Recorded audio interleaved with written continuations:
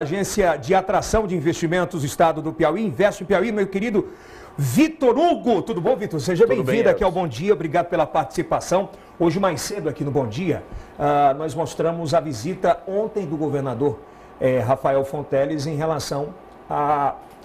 Está havendo uma, uma, certa confusão na cabeça do piauiense, achando que o que ele fala sobre Porto, na verdade, é aquele porto lá de Luiz Correia, ali no Quebra-Mar, e não é isso, é uma outra proposta inclusive de geração de emprego muito forte para aquela comunidade, né? Perfeito. Bom dia a todos que nos assistem. Bom dia. Obrigado aqui pelo, pelo convite.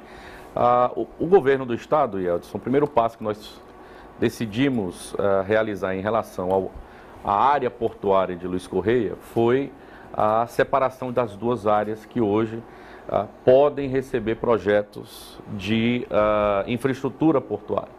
Então nós temos uma poligonal chamada Porto Organizado, que é aquela área do enrocamento, do quebra-mar. Aquela área é do governo federal, é uma área que ainda é objeto de uma, de uma ação junto ao governo federal e que nós não estamos atuando.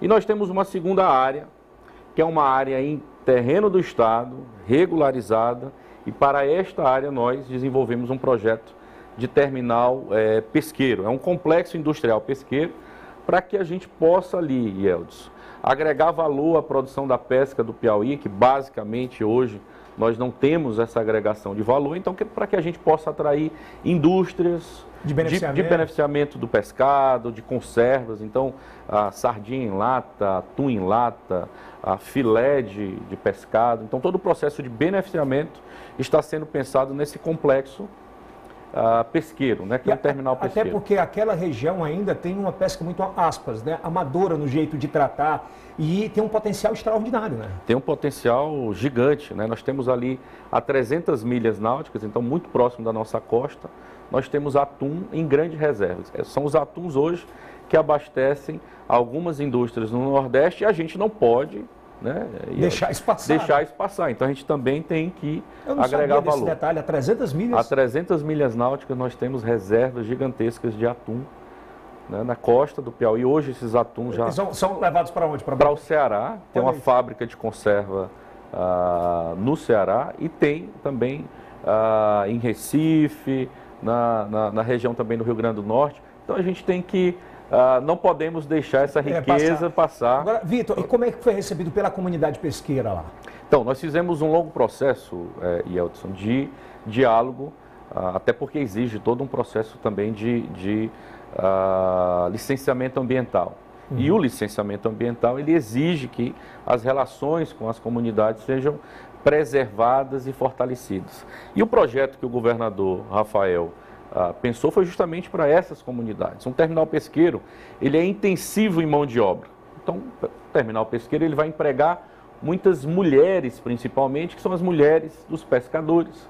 Então, você aumenta ali, melhora a, a, a renda, né? também, a qualidade né? de vida, a renda familiar.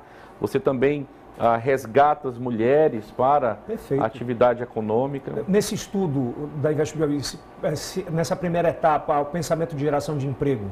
É para você ter uma ideia do impacto que isso pode gerar. Uma única empresa de conserva, nós estudamos várias empresas de conserva.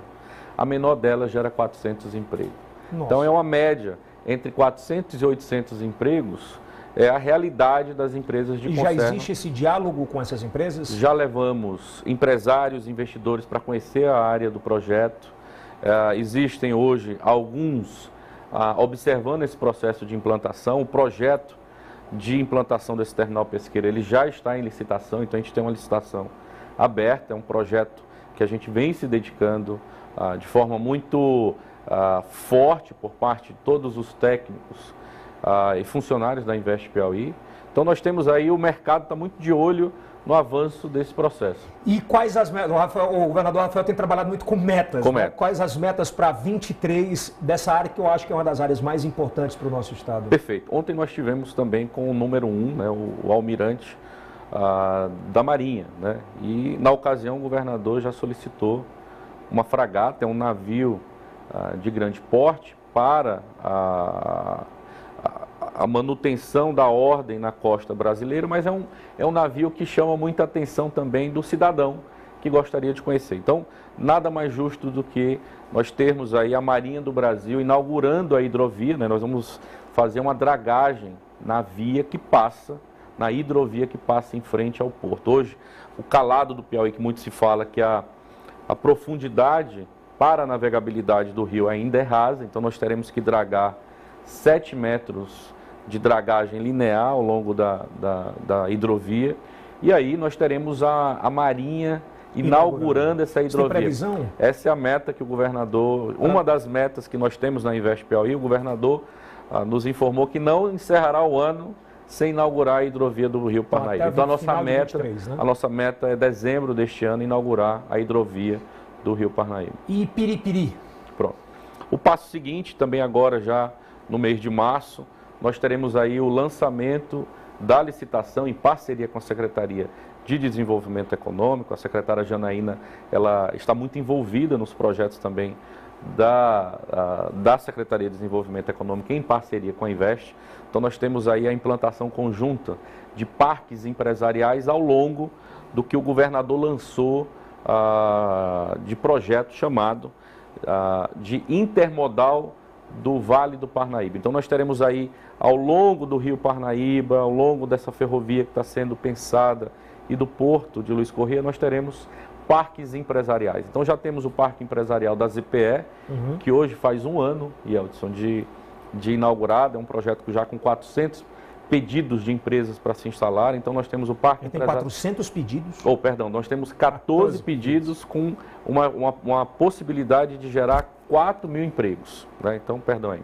Então nós temos aí o parque empresarial, Yeldson, da, de Luiz Correia, né, dessa região portuária do Terminal Pesqueiro. Nós temos o parque empresarial de uh, Parnaíba, vinculado à ZPE, e agora nós teremos o lançamento do terceiro parque empresarial, que é o Parque Empresarial de Piripiri, é uma região com vocação logística, né, um entroncamento muito rodoviário forte, muito Ceará, forte com Piauí. Ceará, Piauí e Maranhão, então nós teremos aí o lançamento e ao longo dos anos ao longo dos próximos quatro anos, nós temos uma meta de 10 parques empresariais. Eu não sabia que Piripiri tinha uma vocação de ferro muito forte. Tem. Nós ontem visitamos uma. Não sei se a gente tem essas imagens aí. Nós visitamos ontem a primeira mina de minério de ferro, Yeldson, ah, do Estado.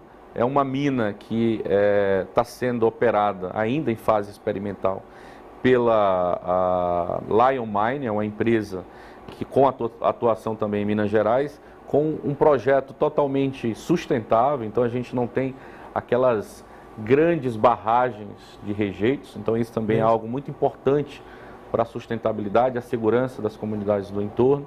E já teremos aí, uh, Yeldis, possivelmente nos próximos dois meses, exportação do minério de ferro do Piauí. O que é que isso impacta, por exemplo, rapidamente, financeiramente em termos de emprego? Quando a gente fala em Minas, você... É, pronto, só para você ter uma ideia, é um projeto piloto, ele já está empregando 50 pessoas da comunidade.